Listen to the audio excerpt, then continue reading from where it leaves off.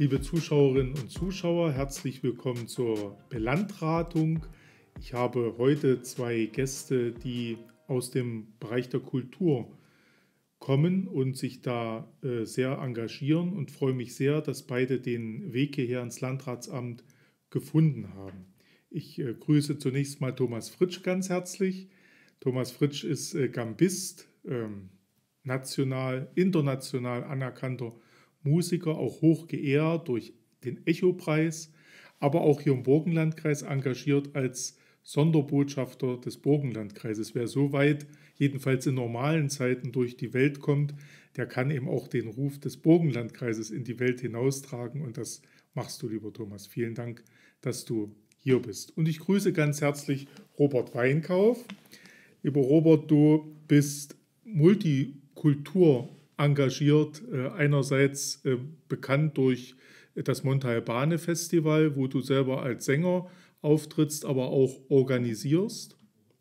Ein Mittelalterfestival, das es in dieser Form äh, in Deutschland nirgendwo gibt. Und du bist gleichzeitig aber auch das Gesicht von Gosek, von diesem historischen und mittelalterlichen Standort, der fast auch Welterbe geworden wäre, zusammen mit dem Naumburger Dom. Und mit beiden möchte ich natürlich äh, reden über die Lage der Kultur in einer Zeit, die durch die Pandemie geprägt ist. Äh, beide sind Musiker, die auch äh, von der Musik leben müssen. Und deshalb ist zunächst mal meine Frage, wie ist jetzt ein Jahr nach Beginn der Pandemie die Situation bei euch mit eurer Musik und äh, wie gelingt es überhaupt, durch die Pandemie zu kommen? Thomas, willst du vielleicht zuerst?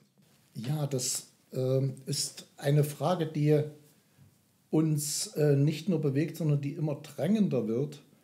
Es begann am 1. März des vergangenen Jahres. Da reiste ich aus Hannover nach Hause zurück, äh, nachdem ich eine CD-Produktion dort beendet hatte. Und kaum war ich zu Hause, erreichte mich der Anruf des Gewandhauses zu Leipzig, der die Passionsaufführungen der Bachschen äh, Matthäus-Passion mit Thomanern und Gewandhaus absagte, die in jedem Jahr äh, in zwei Konzerten jeweils 2300 Menschen in die Thomaskirche nach Leipzig ziehen und wo Busladungen von Publikum vor der Thomaskirche ausgekippt werden. Und es ist ein großes Ereignis und auch ein großes äh, Ereignis für mich jedes Mal wieder an der Stelle, an der Johann Sebastian Bach selbst musiziert hat, dann sitzen und spielen zu dürfen. Und dieses emotionale Leck, das durch diese Absage entstand, neben dem wirtschaftlichen Schaden, den es auch bedeutet, das ist eigentlich über dieses reichliche Jahr immer größer geworden.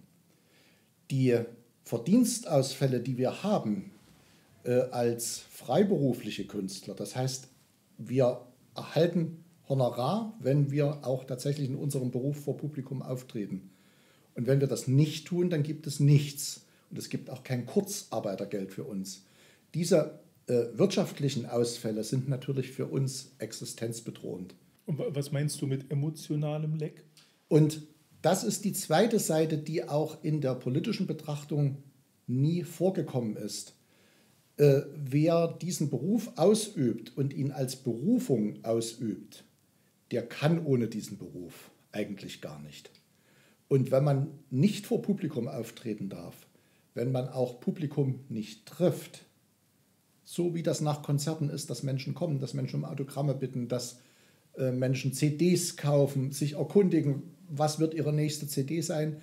Wenn all dieser Austausch nicht mehr ist, dann fällt man emotional auch in ein tiefes Loch.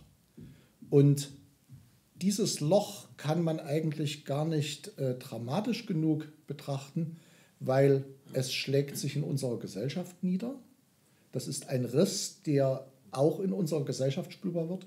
Und es ist ein Riss, der international spürbar wird, weil äh, wir reisen ja zu Konzerten eben auch in die ganze Welt und wir haben Verbindungen zu Menschen in der ganzen Welt, die auf dieser Grundlage von gemeinsamer Begeisterung für Musik entstanden sind. Und darunter sind äh, Kollegen, ganz genauso wie Menschen, die eine große Begeisterung für Musik haben, aber einen ganz anderen Beruf ausüben. Und aus diesen Kontakten entsteht unendlich viel Fruchtbringendes auch, das sich dann in ganz anderen gesellschaftlichen Bereichen wiederum niederschlägt. All dies ist unterbrochen und das kann man auch mit äh, den Möglichkeiten, die Kontakte über Telefon und E-Mail und Bildschirme ermöglichen, äh, zwar eine gewisse Zeit lang aufrechterhalten, aber man kann es in keiner Weise ersetzen. Du, du sagtest, ähm, du, du, reist in alle Welt äh, in normalen Zeiten.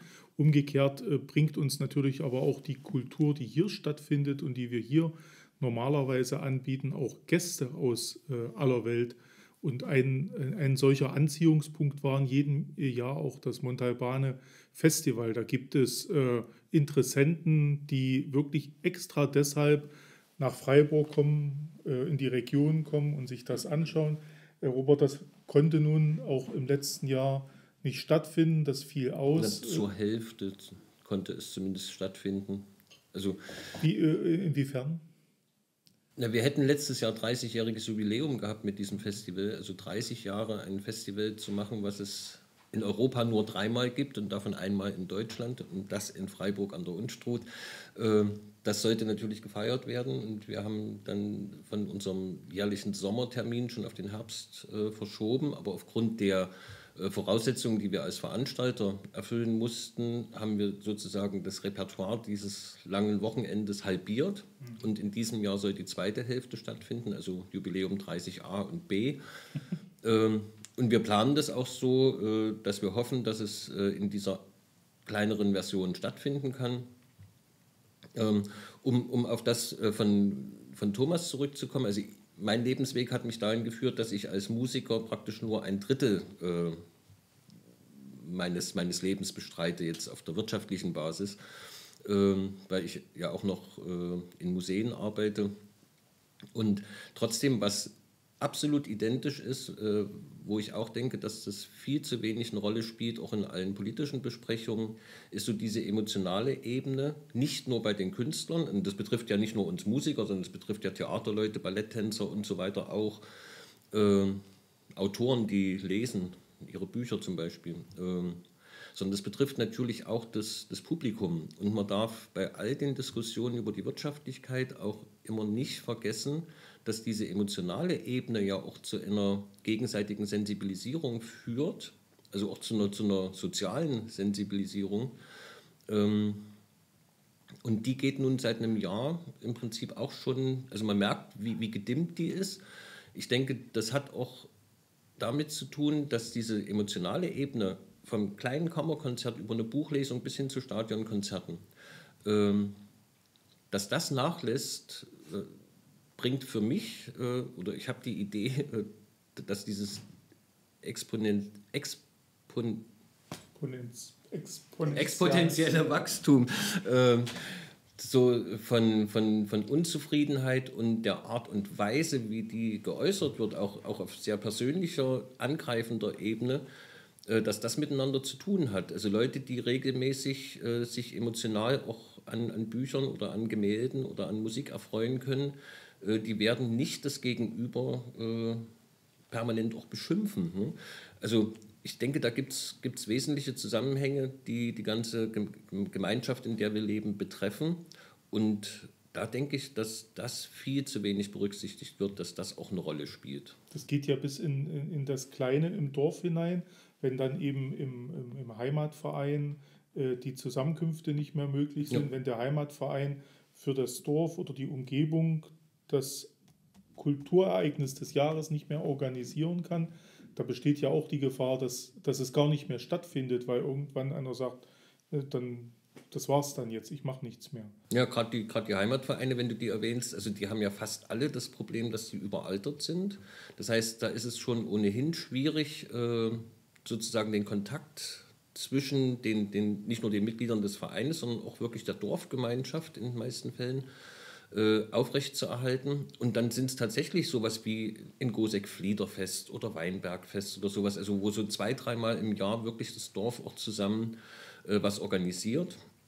Und über so einen langen Zeitraum, wie wir den jetzt schon haben, also schon ein Jahr, und es ist ja nicht absehbar, wie sich das dieses Jahr entwickelt, ob verschiedene von den Veranstaltungen und auf welche Art und Weise wieder stattfinden können, äh, auch dieser Kontakt bricht zusammen und die, die ohnehin schwierigen Konstruktionen von überalterten Heimatvereinen könnte dazu führen, dass wenn es dann mal wieder losgeht, sagen wir mal nächstes Jahr im Frühjahr, ohne jetzt vorgreifen zu wollen, äh, dann sehe ich auch die, die Schwierigkeit, dass Leute, die das im Ehrenamt und mit Herzblut gemacht haben, dass die nicht bis dahin sozusagen auch in sich runtergefahren sind mit ihrem Engagement für, für solche Sachen. Betrifft übrigens auch sehr die Chöre. Hm. Ja, da habe ich äh, von Chorleitern, seien es jetzt äh, kirchliche äh, Chöre oder äh, Chöre, die außerhalb der Kirche sich treffen, da habe ich ganz oft solche Bedenken gehört. Ja, weil da selbst ja das Proben dann nicht geht und äh, das gehört ja zu dieser Gemeinschaft zwingend dazu, nicht mal nur der Auftritt. Man kann ja schon durch das Proben ganz viel an Gemeinschaft dann erleben, auch das ja. findet nicht statt. Äh, Thomas, äh, du hast äh, schon erfolgreich äh, versucht, äh, die große Musik aufs Dorf in die Region zu holen. Es gab ein erstes großes Welterbe-Konzert, Welterbe-Klangkonzert, Welterbe-Klangkonzert in Schulpforte. Und eigentlich wäre äh, der, äh, das zweite große Ereignis in Schleberoda gewesen. Wir haben da schon, glaube ich, zwei Anläufe erfolglos unter, drei, drei sogar Anläufe erfolglos unternommen, um das, was Robert jetzt von, vom Heimatverein und von der Dorfgemeinschaft sagt und das, was die große Musik da hineinbringen könnte, das zusammenzubringen. Äh, ist da, siehst du da eine Chance, dass man das dann, äh, wenn die Situation sich verbessert, dann, dann endlich nachholen kann? Und was wäre das dann konkret in Schleberoda? Ich hoffe jetzt äh, nach der dritten Verlegung sehr auf den 29. August in diesem Sommer.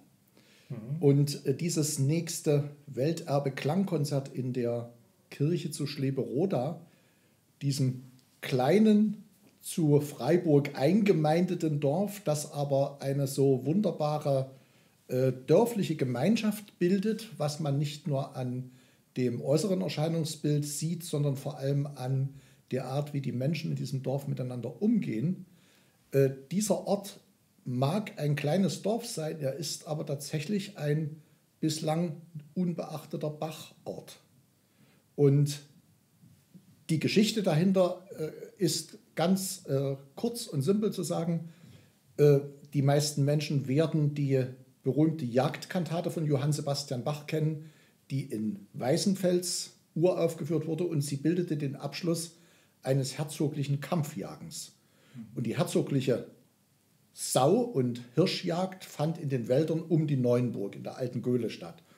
Und in Schleberoda stand und steht bis heute das Gebäude der herzoglichen Oberförsterei. Von dort aus wurde all dies organisiert.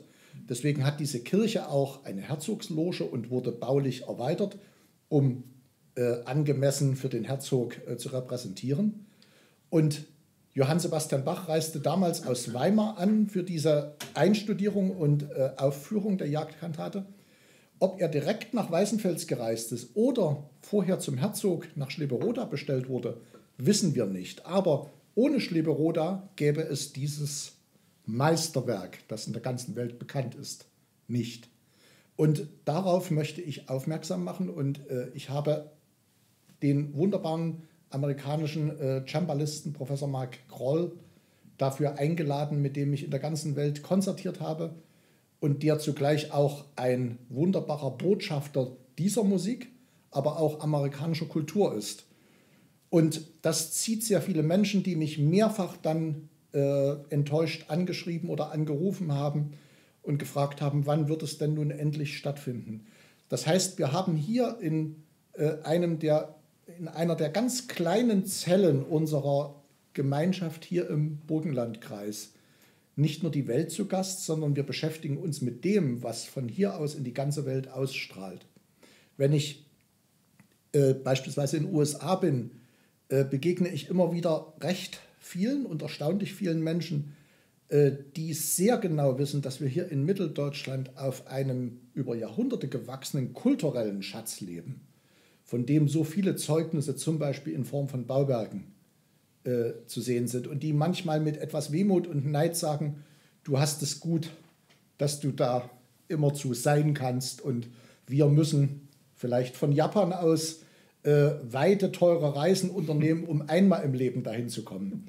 Und äh, diese Wertschätzung, die man unserer Gegend entgegenbringt, die ist fantastisch zu erleben, aber das ist mir nicht genug. Ich möchte sie den Menschen, die hier leben, natürlich auch weitergeben und ihnen sagen, ihr habt allen Grund, sehr stolz zu sein auf die Gegend, in der ihr lebt mhm. und auf den Reichtum, den uns unsere Vorvorderen äh, übergeben haben. Und jetzt ist es unsere Aufgabe, diesen Reichtum nicht nur zu bewahren, sondern aktiv damit umzugehen und gleichzeitig der nachwachsenden Generation zu vermitteln. Denn wenn wir das nicht tun, dann entsteht eine Lücke und dann war es das irgendwann auch mit diesem Reichtum. Mhm. Und da ist diese Zeit, entschuldige, wenn ich das noch sage, eine ganz große Gefahr, weil sie so dazwischen schlägt. In, äh, sie schlägt zwischen unserer Beziehung, die wir hier in der Gegend unterhalten, aber eben auch bis hin äh, zu allen Beziehungen, die wir in alle Welt unterhalten. Und das ist die große Gefahr und wir merken es in unserer Gesellschaft zunehmend, welche Veränderungen passieren. Und wenn mir etwas Angst macht, dann das mehr als alle wirtschaftlichen Folgen. Hm. Du hast, äh, Thomas, im, im, Vorgespräch vorhin gesagt, äh, wir müssen äh, den Menschen, die hier leben, verständlich machen, auf welchem Schatz wir hocken. Ja, das hast du jetzt mit anderen Worten ja, ja jetzt auch so bestätigt. Äh, das, das geht ja auch in die Richtung, was wir hier im Zusammenhang mit der Antragstellung zum Weltkulturerbe erlebt haben, mhm. wie viel Begeisterung und Emotionen die Menschen hier in der Region verspürt haben. Äh, Robert, du warst da selbst dabei im äh, Welterbeverein, auch eben mit und für Gosek und äh, auch da spüren wir ja jetzt spätestens seit Anfang des letzten Jahres, äh, dass das Thema auch in der öffentlichen Wahrnehmung äh, kaum stattfindet. Ja. Obwohl es ja jetzt besonders wichtig wäre im Vorfeld eines Welterbezentrums und anderer Dinge, äh, dass, dass sich hier möglichst viele einbringen und weiter an dieser Identifikation mit ihrer Heimat, ihrer Geschichte, ihrer Kultur arbeiten. Ne, das sehe ich ganz ähnlich wie, wie das, was, was Thomas gesagt hat. Also da sind wir uns ja auch in sozusagen unseren Botschaftertätigkeiten ähnlich, äh, dass wir also mit äh, in dem Fall beide äh, musikalischem Repertoire aus dieser Gegend auch rumreisen und davon erzählen oder singen oder spielen äh, und damit natürlich auch diesen Welterbe-Gedanken, den wir hier haben und der ja wirklich äh, kurz bevor oder bis zu der Zeit, als der Dom in Naumburg dann, dann Welterbe wurde, äh, also kulminierte auch emotional, also wo sich wirklich, äh, wo ich zumindest das Gefühl hatte, dadurch, dass ich eben viel auch mit den Leuten zu tun hatte, dass, dass das gerade wirklich verankert war, emotional, in, in was für einer Region wir hier leben, über einen, einen ewig langen Zeitraum, also die hochmittelalterliche Herrschaftslandschaft eben ähm, bis, bis heute. Und dass es jetzt nachlässt, das liegt natürlich äh, einerseits daran, die, die Leute haben andere Probleme, aber es liegt auch daran, dass Leute wie Thomas oder wie wir mit dem Montalbaner Ensemble zum Beispiel ähm, ja, nicht mehr ausstrahlen können. Ne? Und, und, wir waren ja da sozusagen auch ne, vielleicht Katalysatoren, kann man sagen, weil wir natürlich dann auch Leute, also das Publikum, äh, angesteckt haben mit dem, was wir machen. Ähm, das heißt, die Begeisterung, die war ja so miteinander entstanden. Ne? Und jetzt fällt natürlich die Begeisterung beim Publikum zum Beispiel weg, hier regional, weil es keine Veranstaltung gibt. Das heißt, auch die Leute, die hier wohnen, habe ich die Befürchtung, dass die so diesen Welterbe-Gedanken oder die, diese Schönheit unserer Region und die Wichtigkeit unserer Region äh, in den Hintergrund rücken und eben also jeder Einzelne hier in unserer Region sozusagen von seinem unbewussten oder bewussten Botschaftercharakter abfällt, ohne das, ohne das Böse zu meinen, einfach weil diese, diese Verbindung fehlt. Ne? Also ich merke das zum Beispiel im ganz Kleinen, also viel kleiner als das, was, was Thomas macht, aber ich habe ja so eine monatliche Veranstaltungsreihe, Weinkauf trifft, die eigentlich wirklich jeden Monat am meistens zweiten Donnerstag in irgendeinem Ort oder in irgendeinem Laden oder in, in, in einer Gastronomie oder was auch immer hier in, in dem ehemaligen äh, Antragsgebiet äh, stattfindet, wo ich Liedermacher vorstelle, aber im ersten Teil der Veranstaltung auch denjenigen oder diejenigen, die diesen Ort betreiben, weil ich interessante Leute der Region vorstellen möchte. Und da habe ich ein Publikum, was mir also hinterherreist, wunderbarerweise. Äh, und das sind alles Leute, die hier in der Region zum Teil viel länger wohnen als ich und die dann aber immer wieder sagen, ach, hier war ich noch nie und das ist ja interessant. Schleberoda war äh, vor anderthalb Jahren zum Beispiel. Leute hier aus der Region waren noch nie in dieser Kirche in Schleberoda. Ich war dann mit Liedermachern dort und dann kamen plötzlich Leute von Weißenfels und Zeitz und Naumburg und sagten, ich war noch nie in Schleberoda. Und äh, also zu dieser Bewusstseinsförderung für das, was wir hier äh, Großwelterberegion nennen, äh, die beginnt natürlich auch in der Emotion. Natürlich, die, die Bauwerke, die stehen da und die können wir zeigen und die kennt jeder. Aber das Entscheidende, glaube ich, für unser eigenes Verständnis von, von, von, von diesem Welterbe ist, dass wir selber das so fühlen. Und das immer wieder bei der Emotion. Ne? Das kann man wirtschaftlich, kann man das überhaupt nicht, nicht aufwiegen.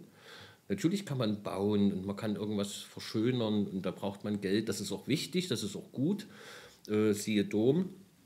Aber wir brauchen auch diese Emotionen wieder. Und dazu brauchen wir auch Veranstaltungen jeglicher Art oder ob das Stefan Rühlmann ist, der seine Romane liest, die hier in der Region spielen. Oder das sind alles so Sachen, äh, die, die müssen wiederkommen, sonst haben wir die, äh, einen emotionalen Abbruch. Und der führt dann dazu, dass auch der Tourismus wieder darunter leidet. Ne? Das ist, hängt ja alles zusammen. Also.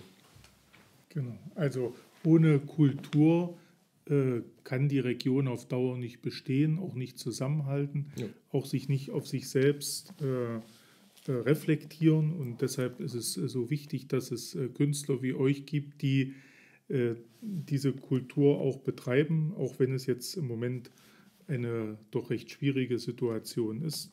Liebe Zuschauerinnen und Zuschauer, ich hoffe, dass unsere beiden Künstler Ihnen einige Aspekte aufzeigen konnten, die äh, für Sie von Interesse waren.